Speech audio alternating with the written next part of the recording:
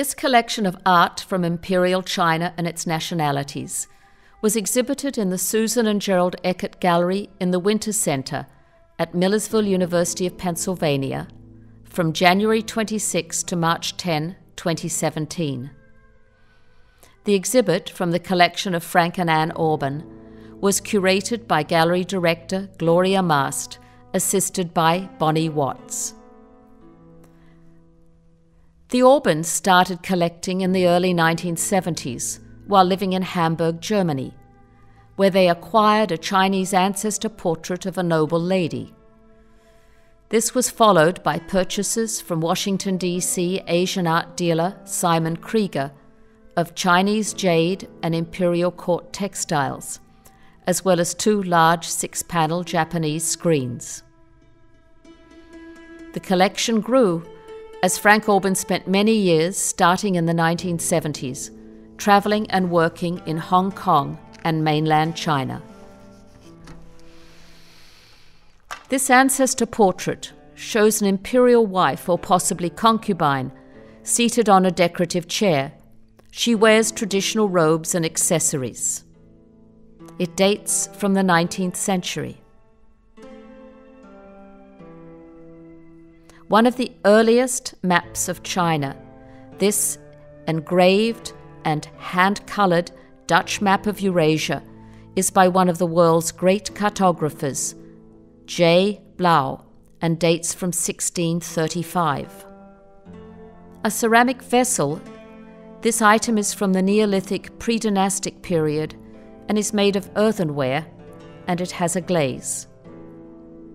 The fired bowl, probably six dynasties period, 220 to 589 AD, is also made of earthenware. A ceramic tea bowl from the Yuan Mongol dynasty dates from between 1279 to 1368. It is earthenware with a glaze. This female funerary figure, made of earthenware, dates from the Tang dynasty, 618 to 906 AD. This earthenware piece, with green glaze, is probably a copy of a funerary hill jar with cover from the Han dynasty, 300 BC to 200 AD. An earthenware ceramic vessel dating from the 19th century is a copy of a Zhou dynasty bronze. This Song dynasty, that's 960 to 1279, pitcher is earthenware with a celadon glaze a scroll painting by Shi Luo dates from the 9th century or possibly is an 11th century copy, at least according to the Freer Gallery in Washington, D.C. It contains seals from the Imperial Collection and features 12 drunken scholars. This jade cup is from the reign of the Kangxi Emperor, 1654 to 1722 in the Qing dynasty. This is a mandarin's official court dress. It dates from the 19th or 20th century and is made of silk with embroidery and embellishment. An imperial court robe for a woman dates from the 19th century and the Qing dynasty. It is in the tapestry woven fabric technique called kesi with many auspicious symbols woven within. A Qing prince wore this dragon robe. It also dates from the 19th century and is silk with embroidery. Dating from the Ming Dynasty, 1368 to 1644, this ivory chaoban was held in front of the face when addressing the emperor in the throne room. An 18th or 19th century Ruyi scepter features jade pieces on a wooden frame. Mimicking imperial court robes, this Beijing opera costume dates from the 20th century. There are three ancestor portraits used in the family home as part of shrines to commemorate ancestors. This mandarin's hat box dates from the 19th century and it held both summer and winter hats. Here's the mandarin's winter hat with a peacock feather. And here is the mandarin's summer hat.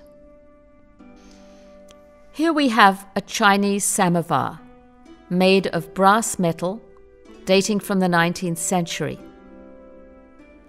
And this tea caddy with teapot features a wooden fabric lined box for the porcelain teapot. A vanity set in wood with metal fittings and mirrors dates from the 19th century.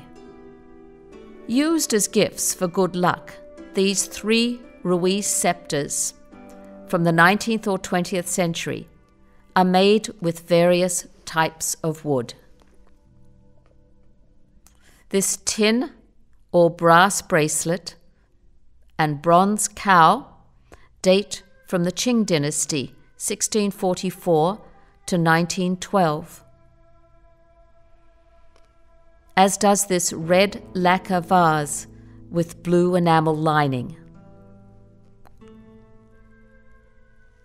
This is an example of what is a typical Mandarin's work desk, with brushes on a stand, chops or seals and sealing ink, ink blocks, and also a hand warmer that would have been filled with warm coals. This 19th and 20th century collection of Chinese pipes includes a walking stick pipe. This hanging scroll from the 19th or 18th century is painted silk and features a scholar. This is a collection of personalized seals or chops. When people added to a scroll, created a poem or a piece of art, or signed a document, they would stamp it with their seal. This Qing Dynasty fan painting is ink on paper. This jar is a Ming Dynasty earthenware with glaze. It is the darker of the two jars, and the Ming Dynasty dates from 1368 to 1644. The lighter of the two jars is from the Qing or Manchu Dynasty, 1644 to 1917. It's porcelain and glaze with carved wood stand. This is a Qing Dynasty ceramic pillow, painted porcelain with glaze. Here we have a Chinese lunch basket from the 19th century. Wood with stamped bronze decoration. This Tibetan food vessel dates from the 19th century. Tibetan monks painted this thangka and mounted it on silk that features a mandala. This is an 18th century wool Tibetan rug. Natural dyes are used. This ceremonial Tibetan vajra, or thunderbolt, dates from the 19th or 20th century. It is used in Tibetan ceremonies and represents firmness of spirit and wisdom. It's the symbol of the Vajrayana, one of three major branches of Buddhism, and symbolizes indestructibility. A Tibetan bell of the 19th or 20th century would have been used with the Vajra in traditional Tibetan Buddhist ceremonies. These Tingsha or Tibetan Buddhist cymbals, also dating from the 19th or 20th century, are traditionally used in certain Tibetan rituals. Tingsha with matching cymbals, that is, cymbals with identical tones, are very rare and highly sought after. Collected in Nepal in 1973 at a Tibetan settlement, this is a Tibetan rosewood and stamped silver cup used for drinking tea. This Tibetan yak butter lamp would traditionally have had a wick inserted in the yak butter. It was collected in Tibet in the 1990s. A Tibetan fire making kit. The flint is inside the purse. Here we have a Mongolian eating kit dating from the 19th or 20th century. It's made of metal, bone, and wood with coral and turquoise decoration. This dining kit contains a knife and chopsticks in the elaborate case. Made of naturally dyed knotted fiber, this is a Mongolian saddle blanket from the 19th or 20th century. This metal horn and reptile skin sheath contains a Tibetan Khampa tribe knife. It dates from the 19th or 20th century. Here we have an example of three Tibetan saddle blankets. They are made with knotted fiber and fabric trimmed with leather. The dyes are all natural. Fabric with fur and trim, this is a traditional Tibetan hat from the 21st century. This is a Qing dynasty necklace worn by a mandarin. It features carved nut beads on a cord. A mandarin would also have worn this skull cap indoors. It dates from the 19th century and is fabric with woven interior. These Manchurian woman's imperial court shoes feature a raised base to allow the wearer an extra few inches of height so that the imperial court robes would not drag on the floor. It dates from the 19th century and is fabric with embroidery. Here is a pair of Han shoes for lotus or bound feet. They date from the 19th century and are fabric with embroidery. Here we have examples of Uyghur carpets from Xinjiang province. The Uyghurs are a Muslim minority in China.